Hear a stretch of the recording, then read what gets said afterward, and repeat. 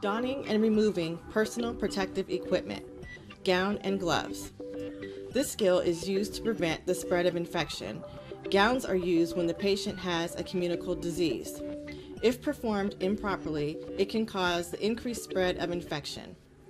You will have two to three minutes to complete this skill. You need one pair of gloves and one disposable gown. So today we're going to demonstrate donning and removing gown and gloves.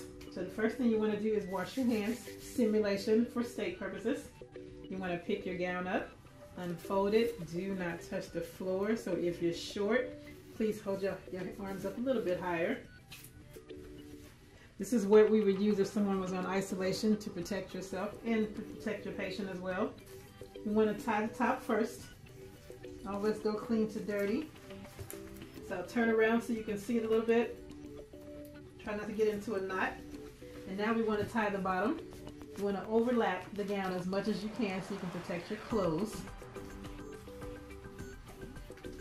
Some of these tie on the side, some tie on the back. Okay, so now we're going to put our gloves on. You want to bring the sleeve to the palm of your hand. That way the sleeve is tucked completely into the glove. You can protect your skin from whatever you're going to be exposed to.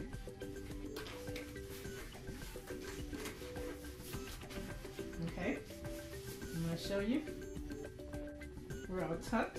I'm going to turn around so you can see the back. So now we remove. Remove the gloves first the correct way. So you start from the middle of the palm, you go ahead and take that off. Tilt your wrist so you don't touch the sleeve. Find a little opening in there. Don't flick it. Take it off gently. We're going to put that into the garbage. Now we're going to untie the same way we tie. We untie the top first and then the bottom, only touching the string. So the part of the sleeve that was under the glove is the only part that's clean on this gown. So you want to go ahead and pinch the end, pull it out, wrap your hand. Go to your forearm, you don't want to touch your hand. And go ahead and pull that down. And then we roll it and tuck. Just kind of walk it down. Roll it and tuck it into a ball. You don't want to touch the outside of the gown at all. Make sure it's in a ball. You put that in the trash or the biohazard, depending on what you've been exposed to. You wash your hands again, and the skill is complete.